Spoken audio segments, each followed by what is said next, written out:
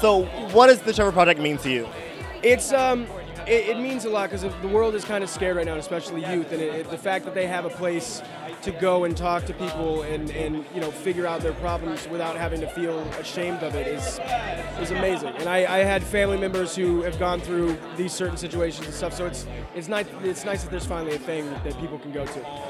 So, the show that you're on, The Real O'Neals, has a gay storyline. How important is it for LGBT people to see themselves in TV? It's, it is very important. I think one of the coolest things about our show is that um, almost every time we a new episode airs, at least one or two people comment on, on our Twitters or something like that saying that they just came out to their parents and that the show helped them to do that. And I think that we're a sitcom, but the fact that we are changing people's lives and helping people get through tough situations is, is huge. Amazing. I'm Matt Shively, and I'm an artist for Revolution.